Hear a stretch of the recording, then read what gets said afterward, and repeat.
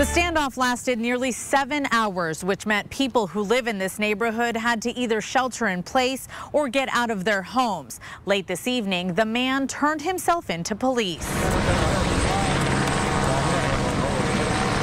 It was late Friday afternoon when Chula Vista police called for a shelter in place for homes near D Street between 5th and Broadway. Please don't come out. Don't come out. Some families also had the option to evacuate.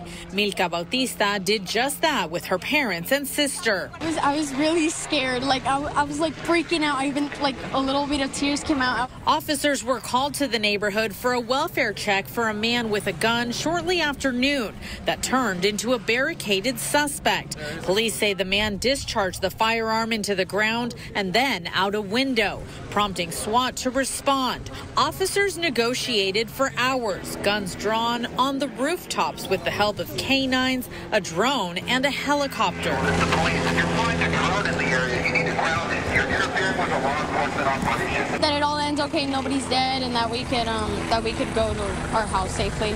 Just after 7, the man surrendered to officers without incident. Police say he was taken into custody for negligent discharge of a firearm. In Chula Vista, Laura Acevedo, ABC 10 News.